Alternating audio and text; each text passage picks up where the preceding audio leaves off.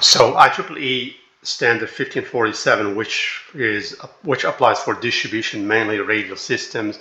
Typically, when it's uh, specified, it references UL 1747, which which is a standard you know that contains test performance requirements for inverters to ensure their safety and compliance with IEEE 1547. All inverters, controllers, converters deployed in DER as part of 15, IEEE 1547 they need to be tested and certified per UL 1741. You know, you know, low, high voltage, low, high frequency ride through, ramp rates, and so on and so forth.